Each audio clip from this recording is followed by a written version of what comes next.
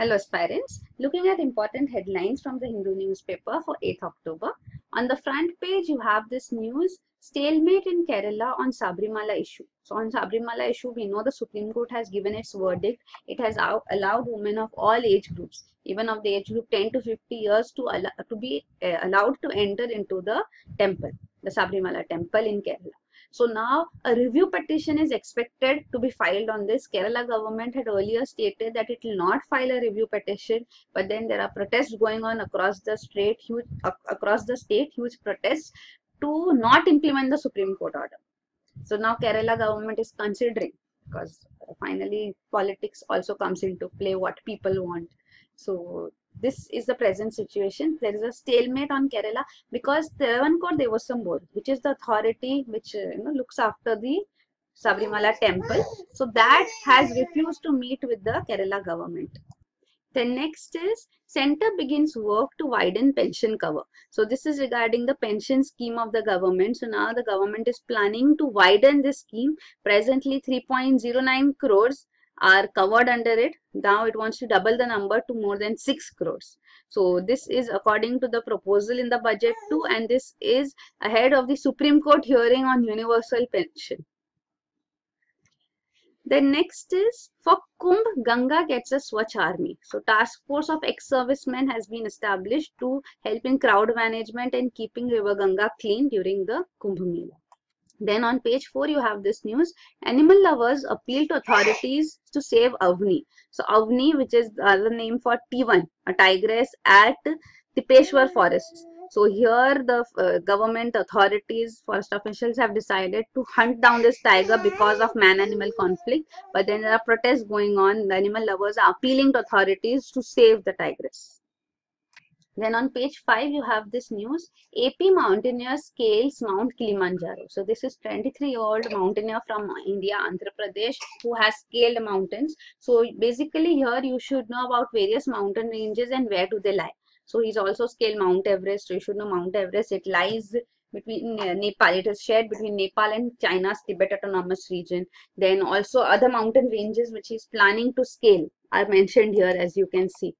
So you should know about these mountain ranges basically. You know, Mount Elbrus is which is scaled, which is in Russia.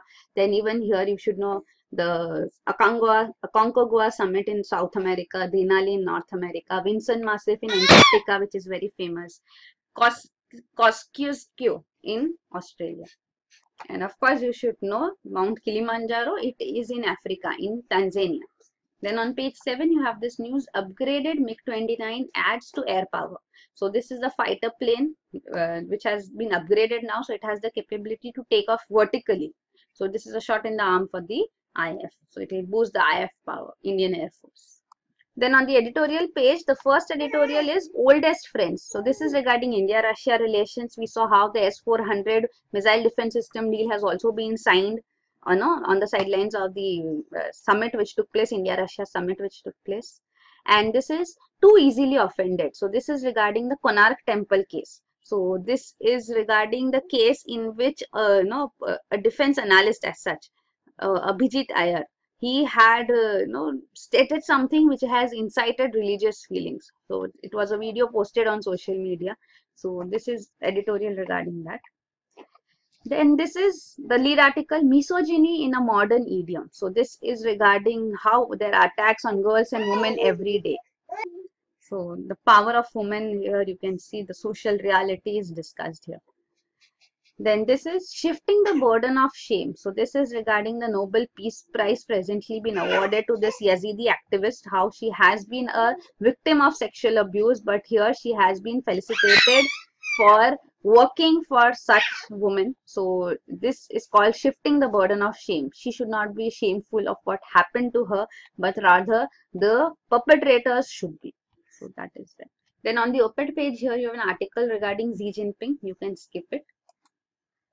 Then on page 10, you have this news, tight security for civic polls in Jammu and Kashmir. So civic polls are being held amid tight security. Then on page 11, you have this news, BSF gets fortified watchtowers. So this is regarding border security force. So now fortified structures are being, concrete structures are being built here along the uh, international border because earlier BSFs are working through tin and mud and thatched roofs uh, outposts which were actually watchtowers which were actually uh, putting their lives at, in danger too. So here you should also know this has quite often been stated that the line of control, the 740 kilometer line of control is under the control of the armed force, army and the uh, 192 kilometer international border in Jammu and Kashmir is under the control of BSF.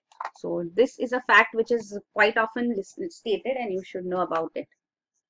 Then there's no important news on the international page today. Generally Mondays have less news because Sunday being a holiday too maybe. Then on business page here you have government plans to auction over 100 mineral blocks in six months. So auctioning is being proposed here now by the government. And on the business review page, the important article is bringing kids gloves to boxing bouts. So this is regarding the current problems which the country is facing, high current account deficit, rising oil prices, depreciating rupee. So the article calls for strong response from policymakers. Then down here you have this coverage, black gold still rules. So this is regarding oil, that how oil is still so much in demand and it affects economies. So that is entirely discussed here, you know, through graphs and facts and figures. Then on the last page, the news which I picked up is I quit the industry and it took me 10 years to heal. So this is a news which has been doing the rounds. Tanushree Dutta, she has alleged you know, harassment by Nana Patekar and others. So here this case, you know, is coming to the fore. So you should know about it. So these are the important headlines from the Hindu newspaper for today. For detailed coverage of current affairs, you can enroll for a course. Details are provided here. And also you can visit our website aashah.com. In the October section, you can go and download the PDFs which will be uploaded here by the end of the day.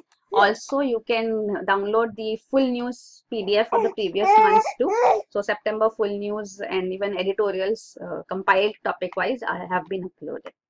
So that is it. Thank you.